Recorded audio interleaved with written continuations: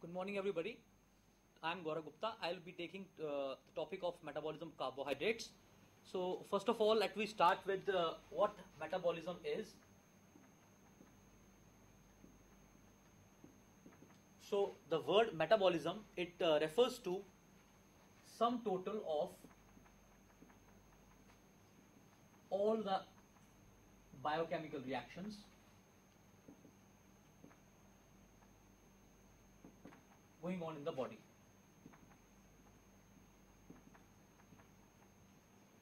So metabolism as I just wrote it down. So it's basically a very broad term. It covers all the chemical reactions which are going on in the body. These reactions can be they can be reactions involving breakdown of substrates or they can be reactions involving synthesis of complex molecules. So we have both aspects going on in the body. We have reactions that uh, that are concerned with breaking of compounds into smaller into smaller fragments or complex compla- compounds are broken down into smaller uh, compounds and on the other hand we have second category where complex molecules are synthesized from the simpler ones.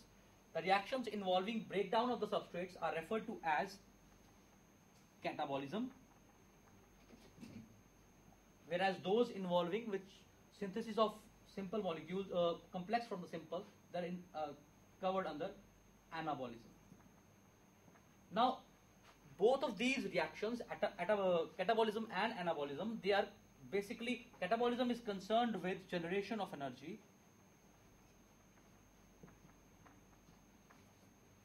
and ana- anabolism it requires energy. So whenever the body needs to break down a complex molecule into simple forms the aim is to generate energy. And whenever the body or the organism is com- synthesizing complex molecules from the simple ones the aim uh, the, that, that process requires energy. So these two reactions catabolism and anabolism are collectively referred to as metabolism why is it important?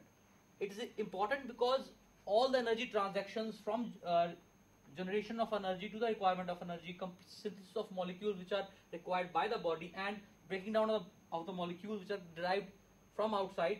They all it's all uh, covered under energy cycles. And generation of energy and requirement of energy. So our body carries out different reactions for for example digestion excretion locomotion. All these reactions require energy and to drive all these reactions we need energy. So metabolism is responsible or it is uh, helpful in getting energy so that life processes can be sustained. So this is the main uh, uh, introduction to the metabolism. So today we will be discussing about metabolism of the carbohydrates. So carbohydrates basically are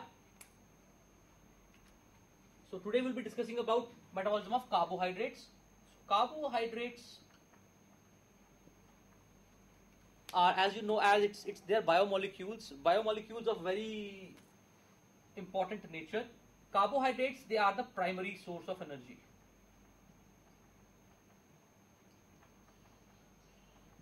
So they are the compounds which body prefers when it needs to get energy. So our metabolic pathways or our energy generation pathways are first of all it, they're dependent upon carbohydrates and among carbohydrates the body prefers glucose. The body prefers glucose. Why glucose? Because it is the simplest form and all carbohydrates are further broken down to glucose and the glucose then is used for getting uh, the required energy. So that is why is it important? Another, so it utilizes a source of energy. It is synthesized from a non-carbohydrate precursors. As you know, glucose synthesized uh, plants use a process called photosynthesis. In plants, there is a process called photosynthesis where they use carbon dioxide and water in presence of sunlight and this process occurs in chlorophyll and they convert it into simple molecule glucose which further gets chained to form, it forms chains and ultimately it forms starch.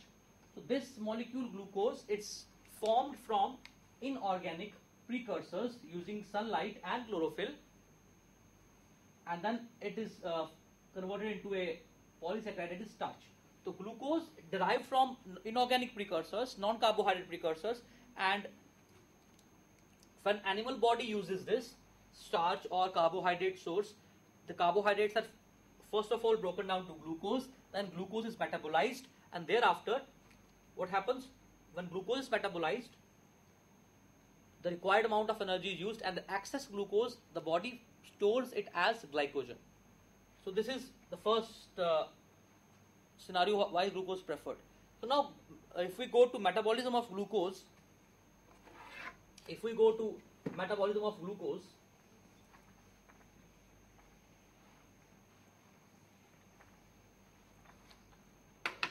so metabolism of glucose it deals with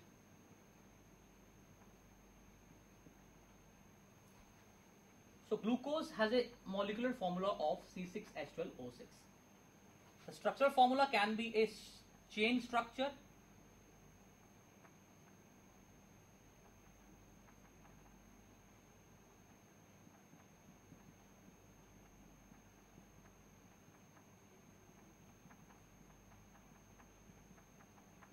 or it can be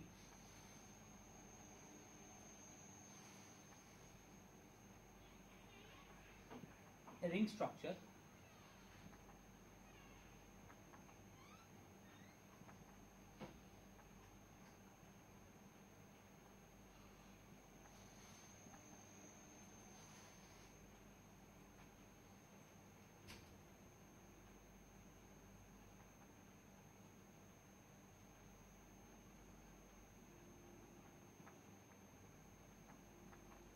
So this is the open chain structure of glucose and this is the ring structure of glucose.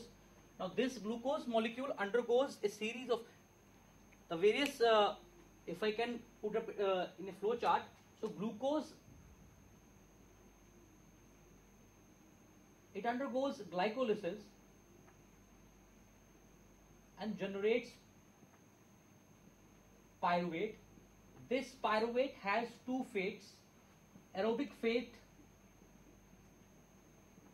and anaerobic fate. Aerobic and anaerobic. So, under anaerobic fate, it is converted to lactic acid or ethanol. So, we have an alcoholic fermentation. This is referred to as alcoholic or lactic acid fermentation. And when it enters the aerobic fate, it undergoes Krebs cycle.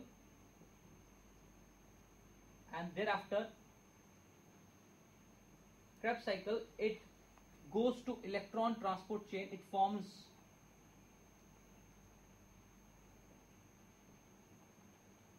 high energy compounds like NADH, FADH,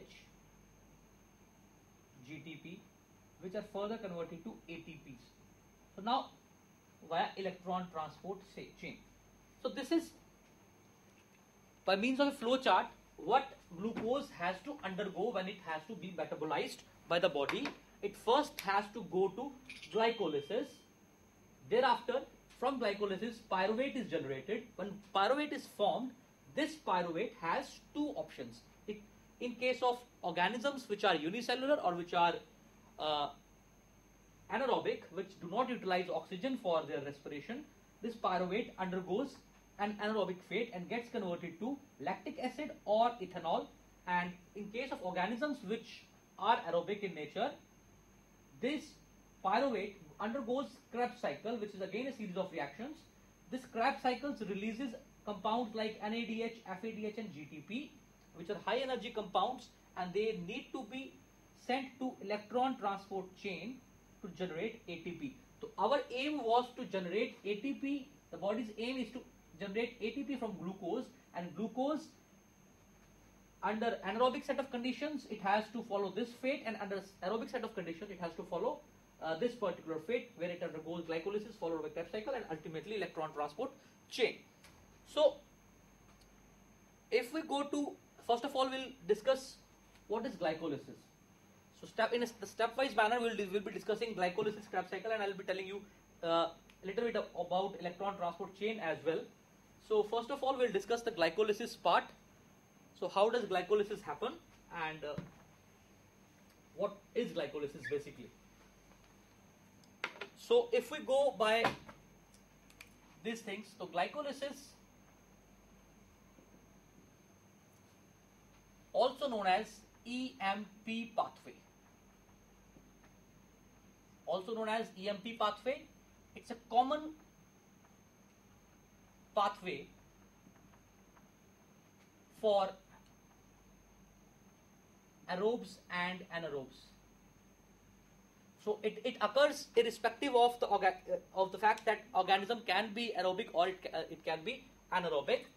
Its location is cytosol.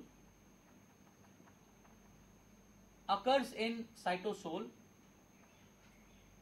It's it, it's pathway which is a series of reactions. Series of reactions catalyzed by each step catalyzed by a different enzyme. So, glycolysis basically is a set of 10 reactions, it's a series of 10 reactions in which each step is catalyzed by a different enzyme which is very specific to the substrate on which it acts. The very important fact about glycolysis is that it is common for both aerobic as well as anaerobic uh, uh, respiration or aerobic uh, organisms it leads to formation of it leads to formation of pyruvate. The pyruvate is the central player here. Pyruvate is the central player. Pyruvate can go to aerobic. It can have an anaerobic fate as well. The first aim is to the first aim is to generate pyruvate from glucose. So we'll be discussing these reactions. Pyruvate generation of pyruvate from glucose. The, the, the series of reactions referred to as glycolysis. We will be discussing these reactions one by one. So the process of glycolysis it starts from the process of glycolysis starts from the starting point is glucose. Glucose which is derived from food or external source it is first of all converted to the first reaction is it is the conversion of glucose to glucose 6 phosphate. So the first step is the conversion of glucose to glucose 6 phosphate. This step is catalyzed by an enzyme called as hexokinase or glucokinase and this step is an ATP dependent step. This step involves the use of an ATP or it requires ATP. The energy of ATP is used to convert glucose into glucose 6 phosphate. Second step is the conversion of glucose 6 phosphate to its isomeric form that is fructose 6 phosphate fructose 6 phosphate is converted to fructose 6 phosphate. Now, fructose 6 phosphate is an isomeric form. The enzyme is hexoisomerase, and since this does not require any just rearrangement, so no ATP is required for this step. The third thing that is conversion of fructose 6 phosphate to fructose 1 6 bis phosphate.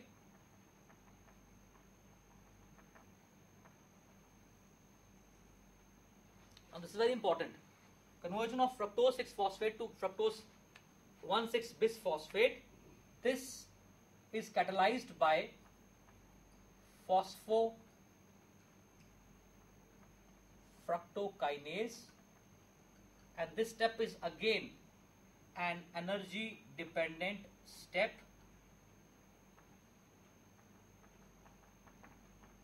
It requires energy and uh, you have it again one molecule of ATP being used in this reaction.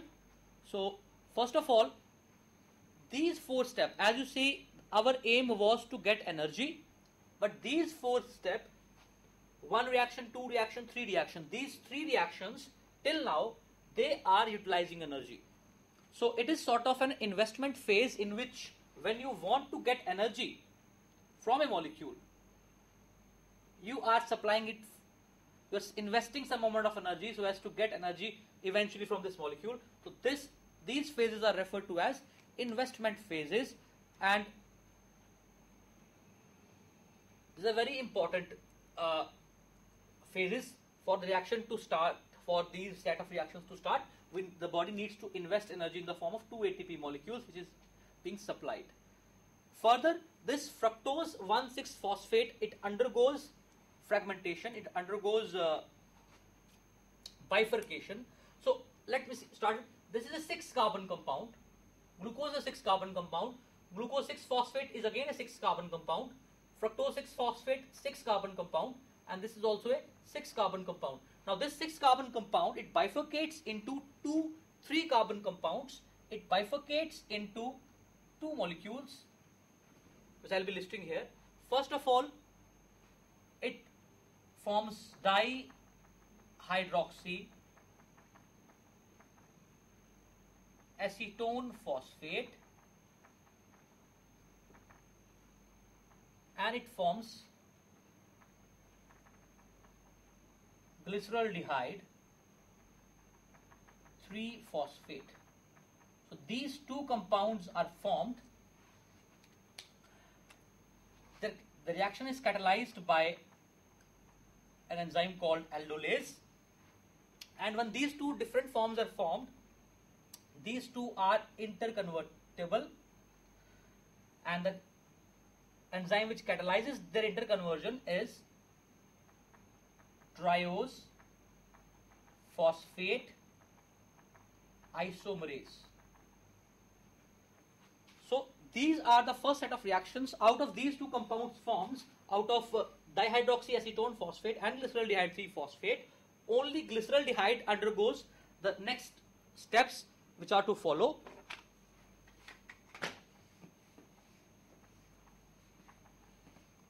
so the glyceraldehyde molecule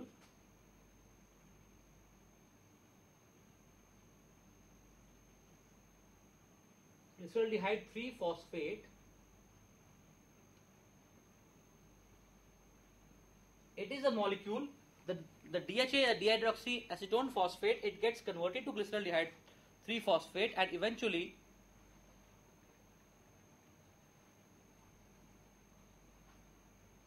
and eventually what happens? This glyceraldehyde enters the next steps of the glycol glycolysis pathway. So i just told you these steps. Till here they are the investment phase. These are the investment phase and now the next reactions they are covered under a phase called as payoff. But in the initial phases body invests and in the uh, later stages body gets the energy out of these molecules so, glyceraldehyde 3 phosphate it undergoes dehydrogenation and it forms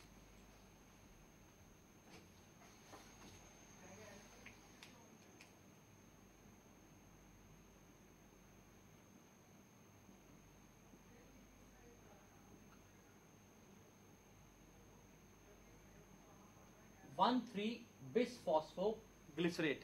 One three biphosphoglycerate which is catalyzed by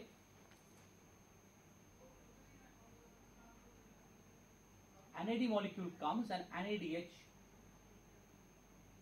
is formed. And this is catalyzed by glyceraldehyde. This is catalyzed by a reaction known as glyceraldehyde 3 phosphate dehydrogenase. So the, the reaction is dehydrogenation the enzyme is dehydrogenase and based on the substrate the name is glyceraldehyde 3 phosphate dehydrogenase. So this is a dehydrogenase reaction. Now this reaction since one phosphate is being added an inorganic phosphate molecule is being introduced in the here and now we have a it biphospho state. Now the second step involves removing removal of one phosphate, high energy phosphate is removed. When high energy phosphate is removed, ATP removes the high energy molecule. So you are left with 3 phosphoglycerate.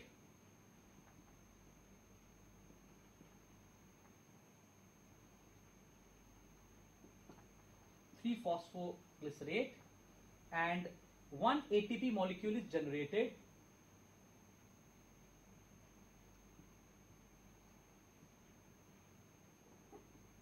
one ATP molecule is generated from ADP and the reaction is catalyzed by an enzyme which is a kinase enzyme which phosphoglycerate kinase.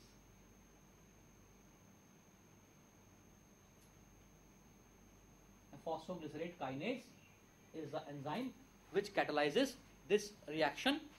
Now this 3-phosphoglycerate it undergoes it undergoes the transposition of the phosphate group the position of the phosphate group changes and it gets converted to 2-phosphoglycerate 2-phosphoglycerate the 2-phosphoglycerate thus the reaction is catalyzed by an enzyme called as phospho glycerate mutase. And third uh, the next step involves the removal of not not removal the, the removal of water the hy- hydrolysis step and it forms phospho enol pyruvate phosphoenol pyruvate phosphoenol pyruvate is formed which the it involves removal of water and the enzyme which is involved in this step it is enolase. It is enolase and finally this phosphoenol pyruvate is converted to pyruvate. This step again generates one molecule of ATP it generates one molecules of ATP and uh, you have ADP molecule generating ATP here and this reaction is again catalyzed by a kinase reaction that is by kinase enzyme that is pyruvate kinase. This is pyruvate kinase. So this pathway started from glucose it ended with pyruvate. So as you can see we have a 10 step reaction 1 2 3 4 5 6 7 8 9 and 10 it's a 10 step reaction. Each step catalyzed by a different enzyme which is very specific and it involves initially three reactions. They are the investment phase. Two ATP molecules are invested. And the later stages if you see I'm, I just only mentioned one glyceraldehyde molecules whereas two glyceraldehyde molecules are formed one as such and one after conversion from dihydroxyacetone. So two NADH molecules here two ATP molecules here and two ATP molecules here so at these steps involve generation of either ATP molecules as such or NADH molecules which are high energy molecules which will be used thereafter in the later stages to generate ATP. Eventually ATP is the energy currency. ATP is the molecule which our body prefers. Our body deals in when energy, energy uh, ATP is the energy currency. All the energy transactions are done in ATP in the form of ATP. Now these reactions constitute the glycolysis. So glycolysis is the first step as I told you common to both aerobic as well as anaerobic. Now this pyruvate which is formed it has two choices. It can ei- either undergo an aerobic fate or it can undergo an anaerobic fate. First of all let's see what happens if it undergoes uh, anaerobic fate. Under anaerobic fate what happens is this pyruvate is converted to lactate or lactic acid. So, if this pyruvate which is formed, this is anaerobic. scenario. So pyruvate which is formed, it forms lactate. Now formation of this lactate requires energy. So energy is provided by the NADH molecule which is being produced here. The NADH produced at this step, if we number the reactions, this is reaction number 1, reaction number 2, reaction number 3, reaction number 4, reaction number 5, reaction number 6, 7, 8, 9 and 10 reactions. So the NADH molecule which is formed at the reaction number 6 of the glycolytic pathway, that NADH molecule is used in this step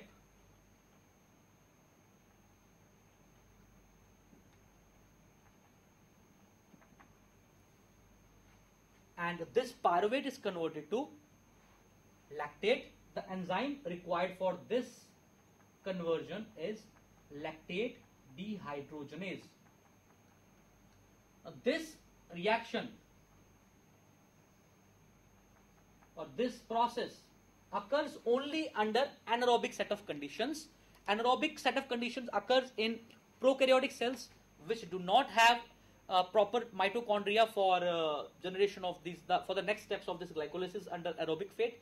So the, here there the pyruvate undergoes this fate. It either gets converted to lactate or it gets converted to ethanol or uh, it's an alcoholic.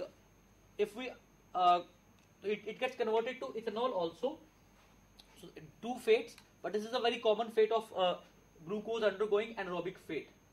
Now we'll be discussing about how glucose or how pyruvate behaves or how pyruvate undergoes different changes when it is under anaerob is under aerobic set of conditions. Under aerobic set of conditions, the pyruvate molecule enters the mitochondria, but not as such. The pyruvate first of all uh, needs to be converted to a molecule known as acetyl coenzyme A. So let's discuss the formation of acetyl coenzyme A from uh, this pyruvate molecule. So I'll be rubbing these.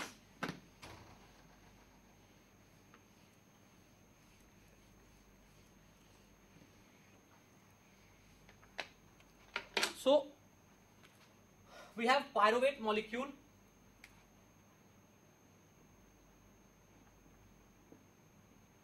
this was under anaerobic set of conditions this is under aerobic conditions under aerobic conditions, pyruvate undergoes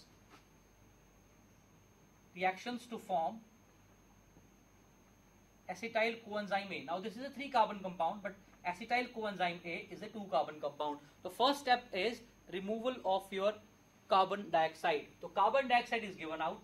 This is one. Number two, it involves, it also generates one molecule of NADH from NAD. Again, this reaction requires coenzyme A and it occurs in the presence of various cofactors like TPP, lipoate and FAD. The enzyme required for this reaction is pyruvate dehydrogenase complex. Now this reaction under aerobic fate, under anaerobic fate, this is the endpoint. Pyruvate stops here, no further reaction. NADH which was formed, it is used. 2 ATP molecules per uh, glucose molecule are formed because 4 molecules are formed here, 2 were used so net gain is 2 ATP under anaerobic conditions. But under aerobic conditions, these steps remain as such. Pyruvate undergoes this reaction, it gets converted to acetyl coenzyme A. And now when acetyl coenzyme A is formed, this acetyl coenzyme A can pass the mitochondrial membrane and enter the mitochondrial matrix. When it enters the mitochondrial matrix, it again enters a new uh, pathway which is known as Krebs cycle under Krebs cycle, this acetyl coenzyme A, it is uh, used up and more energy is generated by using this acetyl coenzyme A. So now acetyl coenzyme A is formed from pyruvate. From glucose, pyruvate was formed, and from pyruvate, acetyl coenzyme A is formed. Next, this acetyl coenzyme A enters the Krebs cycle. Now we'll be discussing the Krebs cycle part of this uh, metabolic pathway. So I'll be rubbing this anaerobic one and we'll be discussing Krebs cycle.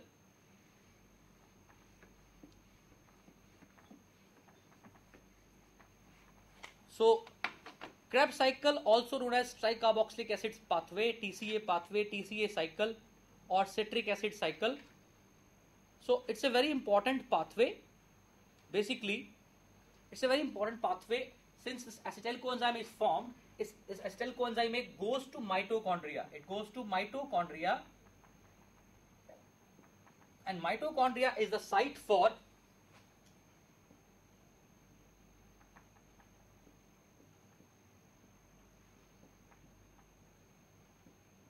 So it, it was given by Sir Hans Krebs. So this cycle deals with the conversion of this or use of this acetyl coenzyme A and its conversion to uh, ATP molecules and, and other energy rich compounds like NADH, FADH and other molecules. So first of all, this pyruvate which enters, it is captured by or it is taken up by a four carbon compound that is oxaloacetate. The first, the first recipient of acetyl coenzyme A, the acetyl coenzyme A, which is formed in the reaction I mentioned. So this acetyl coenzyme A comes here. This oxaloacetate combines with this acetyl coenzyme A, and the first compound they form is the six carbon compound that is citric acid or citrate they form? They form citrate they form citrate so when citrate is formed this is the first step reaction this is a four carbon compound. This is a two carbon compound. This four carbon two carbon they come join together they form citrate which is a six carbon compound. Now this citrate undergoes rearrangement to form isocitrate via an intermediate this is known as cis aconitate and ultimately it forms isocitrate. Conversion of citrate to isocitrate by means of a, an intermediate known as cis aconitate. So first of all this reaction oxaloacetate to citrate formation by using this acetyl coenzyme A, it is catalyzed by an enzyme called citrate synthase. Citrate synthase, which is uh, a very important enzyme, and this is the first step which is being catalyzed, uh, which is catalyzed by the uh, first reaction catalyzed uh, where acetyl coenzyme is directly used up. Now this citrate is converted to isocitrate uh, via two-step reaction. First step involves removal of water, second involves addition of water. So catalyzed by an enzyme called as aconitase. This is catalyzed by an enzyme called aconitase. Now this, the next step involves removal of one carbon dioxide molecule. This carbon dioxide molecule is when it is removed it is removed as carbon dioxide. The reaction is decarboxylation. The reaction is oxidative decarboxylation and the enzyme required is isocitrate dehydrogenase. Isocitrate dehydrogenase.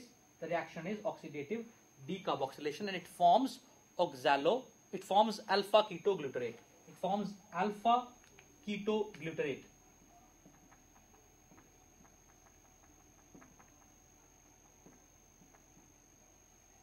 So we all have heard that carb, the glucose when it is when we respire carbon dioxide is given out. You see one carbon dioxide molecule coming out. You saw one carbon dioxide molecule coming out. So carbon dioxide is given out during the course of these uh, series of reactions which are going on. This alpha ketoglutarate again undergoes a second decarboxylation step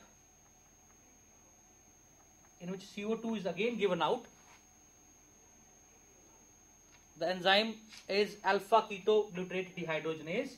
The enzyme is alpha ketoglutarate dehydrogenase. So what happens when this decarboxylation is happening, one molecule of coenzyme A is also added.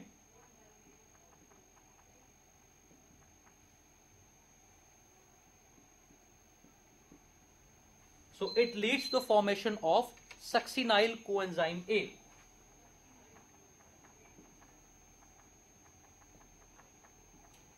It forms succinyl coenzyme A.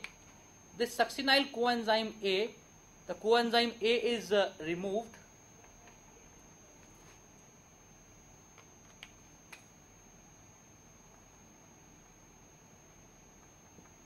It is given out. Coenzyme A is removed, and what happens when this coenzyme A is given out? During this course of reaction, one GTP molecule is generated one GTP molecule is generated and the reac reaction is catalyzed by succinyl coenzyme A synthetase. The reaction is catalyzed by succinyl coenzyme A synthase and it leads to the formation of succinate. It leads to the formation of succinate. This succinate undergoes again a dehydrogenation step and it forms fumarate.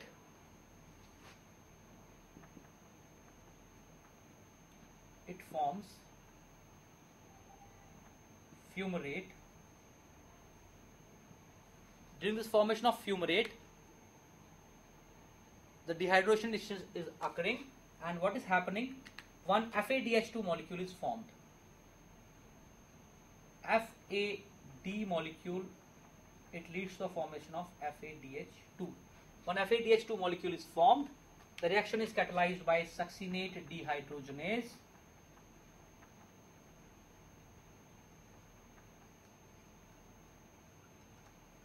And thereafter, when this fumarate is formed, it leads to the formation of malate.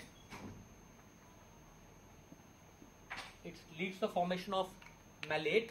During malate formation, this water molecule is added the water molecule is added, the step is hydration, one molecule of is added and the reaction is catalyzed by an enzyme called as fumarase and the last step involves conversion of malate to oxaloacetate.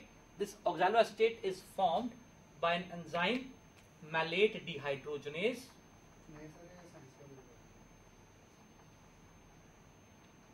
Malate dehydrogenase in this step again one NADH molecule is formed. NADH molecule is formed. It gives NADH plus H positive. So this so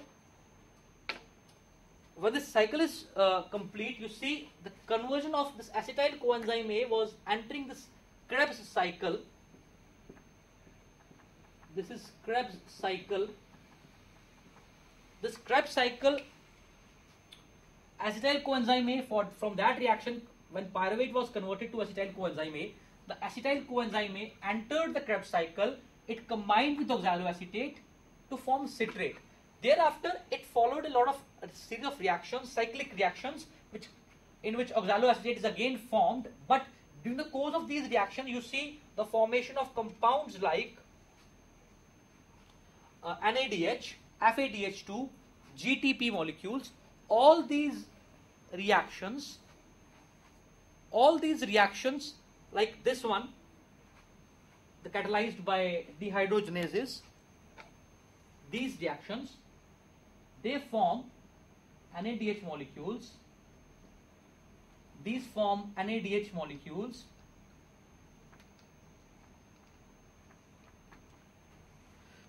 So the formation of NADH here, here, here, and then, two molecules of FAD and GTP. All these molecules are energy rich molecules and will ultimately be converted to ATP when these high energy molecules are subjected to electron transport system or electron transport chain. The electron transport system or electron transport chain is basically again a set of uh, it's, a, it's a network of different enzymes of, or different compounds which what they do do they do? They take these molecules by means of electron transfers uh, trans transfer from and to these molecules in a stepwise manner. They uh, convert these molecules into ATP or they use the energy stored in these molecules to generate ATP which will eventually be used by the body. So some basic things about this Krebs cycle. This Krebs cycle is an amphibolic pathway. Uh, what we discussed just now is its uh, catabolic nature in which it is using this uh, pyruvate molecule to generate ATP but it can create precursors like alpha ketoglutarate oxaloacetate which can go to other pathways as well and hence it can play a role in synthetic pathways or the pathways which involve synthesis of other compounds and hence it can be treated as an amphibolic pathway which is, is both catabolic as well as anabolic and when we look at these, one NADH molecule upon uh, its transfer to electron transport chain, it yields 3 ATP molecules. So 3 ATPs here, 3 here, 9 and 3 here, that is 12.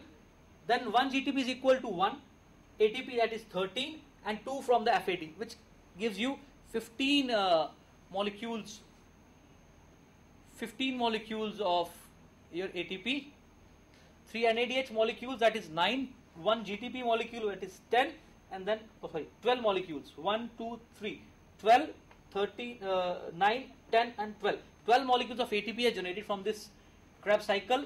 Earlier we had 2 molecules and thereafter on a whole one glucose molecule collect uh, on a whole can give you around 36 to 38 ATPs of uh, energy via aerobic route and via anaerobic route one molecule of glucose generates only 2 ATP. The prokaryotes uh, generally carry out these anaerobic mode because they, the energy uh, which is generated is sufficient for their survival. But in higher organisms like human beings and other complex organisms, the energy needs are complex and hence more efficient pathways are used to get maximum out of glucose and there are 36 to 38 ATPs of glucose of energy can be yielded from per molecule of glucose. So electron transport chain, as I told you, it's the final component of an aerobic pathway. So glucose metabolism starts with glucose, forms pyruvate upon the end of glycolysis, then pyruvate is converted to uh, acetyl coenzyme A, then acetyl coenzyme A enters mitochondria, undergoes Krebs cycle.